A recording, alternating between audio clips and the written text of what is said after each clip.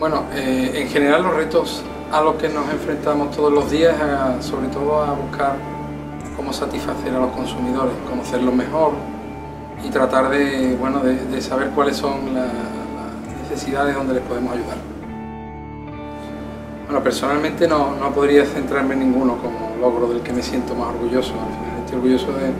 de, de dar, dar todos los días todo lo que podemos de nosotros mismos para trabajar aunque ahora mismo pues, nos encontramos inmersos en una situación bastante delicada y el orgullo de llevar adelante pues, esta empresa y que confío en que llegue a buen puerto pronto. Sí, absolutamente. Como dice la formación directiva, es eh, muy importante porque al final te permite una visión más global de, las cosas y, al final las empresas, aunque todos lo hemos dicho muchas veces, realmente son las personas. Y por supuesto que, que es muy importante.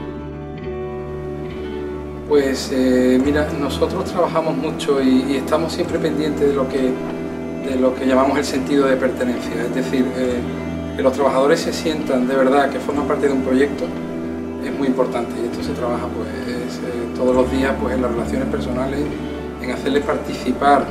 realmente del proyecto, en darles información, en, los diferentes comités donde se comparten las cosas y donde fundamentalmente se trabaja en equipo. Básicamente serían estas